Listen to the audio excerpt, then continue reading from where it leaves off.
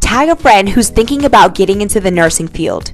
Jacksonville University just announced four new programs. They are now offering two 12 month accelerated programs and two 16 month programs. The nursing shortage here in Jacksonville, Florida has created these new opportunities for people to get into the industry even faster. Like and follow for more Jacksonville, Florida.